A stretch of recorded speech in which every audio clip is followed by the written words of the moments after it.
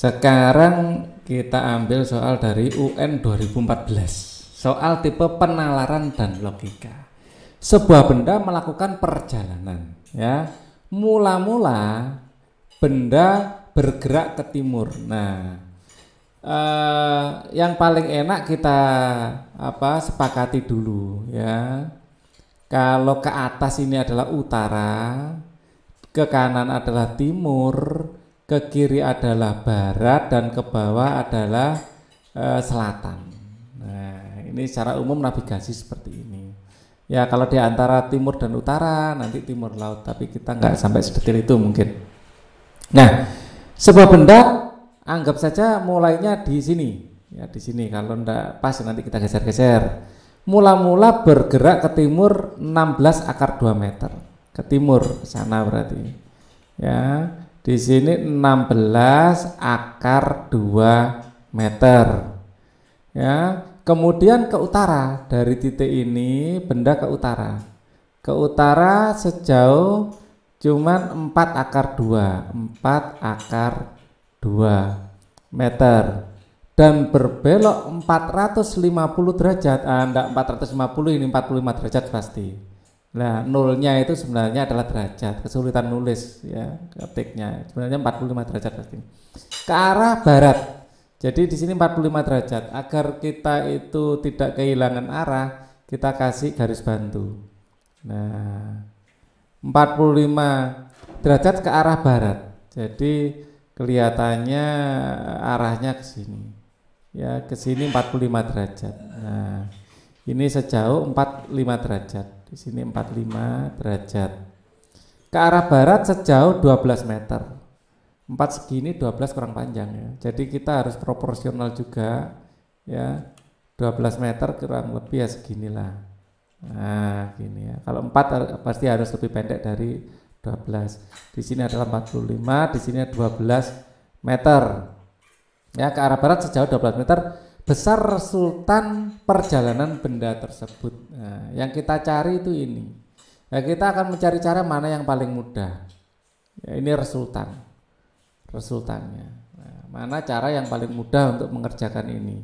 Nah, kita bisa mengerjakan vektor e, seperti cara sebelumnya kalau itu memang mudah atau nah seperti ini atau ini ke sini dulu baru ini ke sini boleh juga. Tapi yang paling e, maksudnya cara yang paling enak sebenarnya kita tetap menggunakan cara vektor. Jadi ini kalau kita gambarkan cara e, di sini, nah gini, ya anggap saja ini vektor f1, di sini adalah f1, maka f1 itu murni sumbu x ke arah kanan sebesar 16 akar 2. Ini adalah f1 misalnya ya. Kita kayak vektor ya arahnya satu. Di sini adalah F2.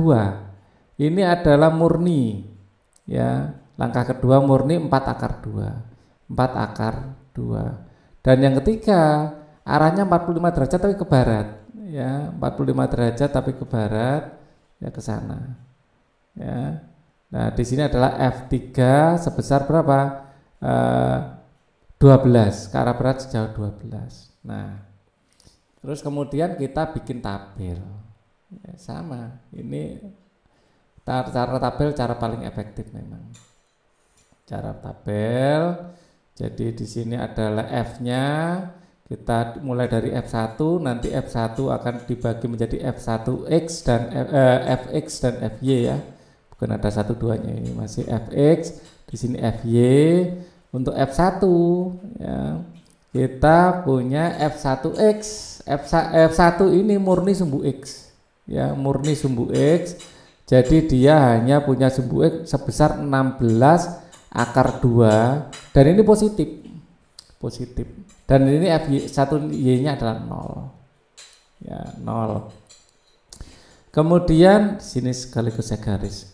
Untuk F2 nah F2 ini yang uh, F2 murni juga. F2 murni juga. Jadi di sini F2 ya. Ini hanya murni strada Y yaitu 4 akar 2. Ya, 4 akar 2 dan ke sumbu X-nya adalah 0. ya, biar menghemat tempat wow ya mana tadi posisinya kak ke sini ya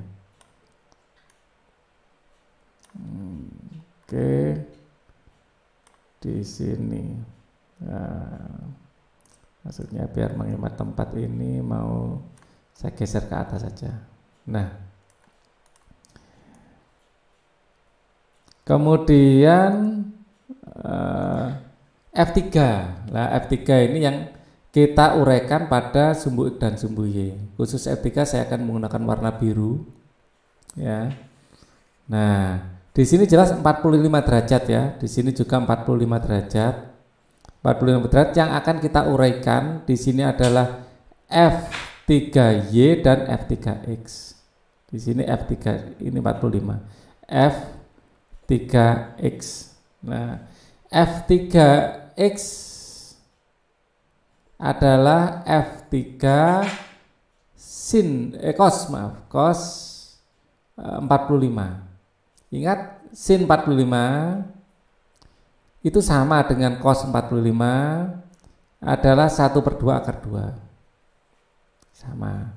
Jadi di sini adalah 12 dikali eh, 1 per 2 akar 2 yaitu kali ya di sini adalah 6 akar 2 dan X ini negatif ya. Ingat di sini adalah negatif ya sedangkan F3Y adalah F3 sin 45 12 kali 1 per 2 akar 2 dan ini negatif, positif ya cuma 16 akar 2 saja.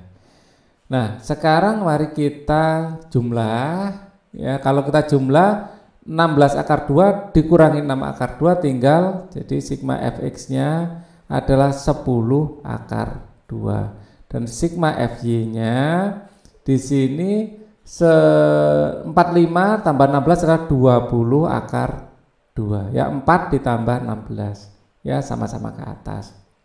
20 akar 2 resultan adalah akar dari sigma fx dikuadratkan tambah sigma fy dikuadratkan. Di sini akan menjadi akar dari ya eh, 10 akar 2 kuadrat tambah 20 akar 2 kuadrat. 10 dikuadratkan 100, sekarang 100 dikalikan 2 adalah 200 ya. Ditambah akar 2 dikuadratkan adalah 2 ini 4 ya. 2 ini 20 itu 400 400 kali 2 adalah 800 ya maka akan sama dengan eh, 1000 1000 1000 1000 itu adalah eh, 100 kali 10 100 keluar dari akar menjadi 10 10 akar 10 seharusnya Besar sultan perjalanan benda tersebut adalah 10 akar 10 seharusnya. Coba kalau kita hitung pakai kalkulator, 10 akar 10 berapa? Jadi 10 kita akar kita akar kita kalikan 10. 31,6. Nah, enggak ada. 31,6. Coba kita analisa. Sebuah benda melakukan nggak enak kalau ada akar-akarnya gitu itu sebuah benda melakukan perjalanan ya mula-mula ber, benda bergerak ke timur 16 akar 2 benar ya sini 16 akar 2 bentar ya di sini 16 akar 2 benar. Sebuah benda melakukan perjalanan mula-mula bergerak ke timur 16 akar 2 betul. Kemudian ke utara. Dan berbelok 45 derajat ke arah barat. Ya kan? Ke kiri berarti bukan ke timur. Sejauh 12 meter. Berbelok 45 derajat ke arah barat. Harusnya betul ya. Besar sultan perjalanan tersebut R. Seharusnya sudah benar ini ya kita lihat lagi. Ini murni sumbu uh, yang F1 murni sumbu X sehingga 16 akar 2 16 akar 2 betul. Di sini F2 adalah uh, utara 4 akar 2 betul. Utara di, di sini adalah 12 ya, 12 meter 45 derajat. Rasanya bukan 450 pasti 45 derajat ini. Uh, di sini 12 berarti 6 akar 2 dan min Oh, di sini kelirunya 6 akar 2 jadi 16 akar 2. Masalahnya ketemu. Ndak teliti. Di sini 6 akar 2 seharusnya.